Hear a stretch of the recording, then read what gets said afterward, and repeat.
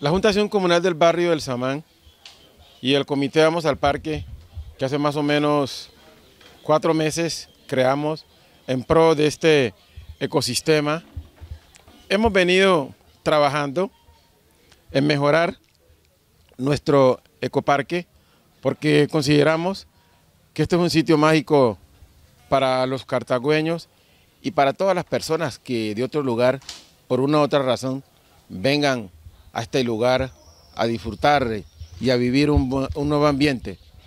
Para nosotros es de mucha satisfacción que hoy las empresas municipales, la Subsecretaría del Medio Ambiente, se haya vinculado, la CBC de igual manera, se haya vinculado a este proceso. Porque para nosotros siempre ha sido como un sueño que lo público, lo privado y la comunidad se vincule, porque en la medida en que haya esa vinculación, nuestro ecoparque de la salud va a vivir y a permanecer en el tiempo, que es nuestro gran propósito. Bienvenida eh, las ideas, los propósitos y las intenciones de nuestro gerente de las empresas municipales, doctor Juan David Pedradita, quien se ha comprometido a liberar el espejo lagunar del ambiente que en este momento se tiene. De igual manera, durante ese mismo tiempo, eh, cuatro o cinco meses, la comunidad ha venido también trabajando en recuperarlo.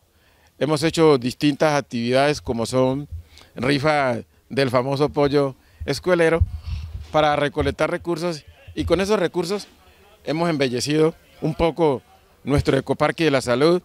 También, también estamos realizando rumbaterapia los días martes y los días jueves con la profesora Beatriz, como también los sábados, cada 15 días, limpieza de todo nuestro ecoparque y recreación para niños y niñas. Con estas actividades, eh, ¿cómo es la receptividad? ¿Si asiste a la comunidad?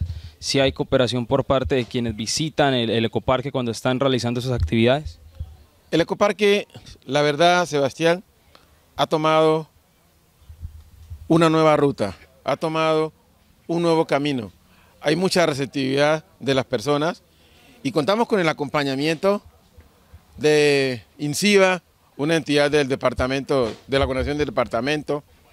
Confiamos con el acompañamiento también de la Cruz Roja, de algunas instituciones educativas y contamos también con el acompañamiento de ARN, una agencia de la Presidencia de la República y la verdad, Sebastián, muchas y muchas y muchas personas se han vinculado a este gran proceso, el cual ya lo miramos que crece y crece cada día más.